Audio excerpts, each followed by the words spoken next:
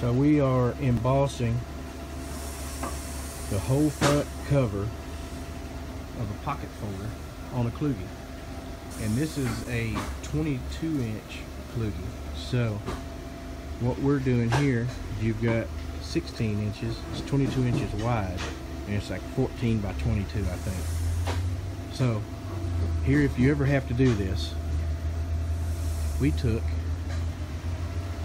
some wooden blocks, some furniture, and it had holes already right here, so we just bolted it to it.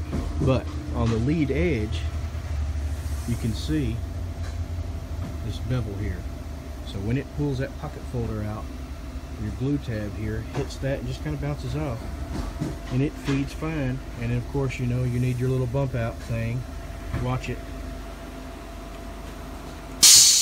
Watch how that, see that little bump out? See how that bumps over?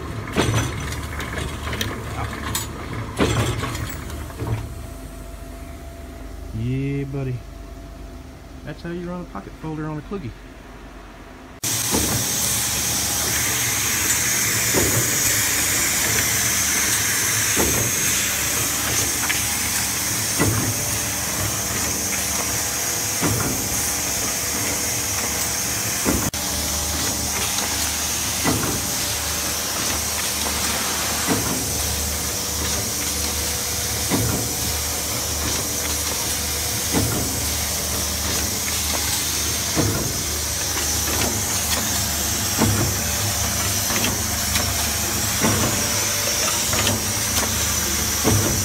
Little doggy.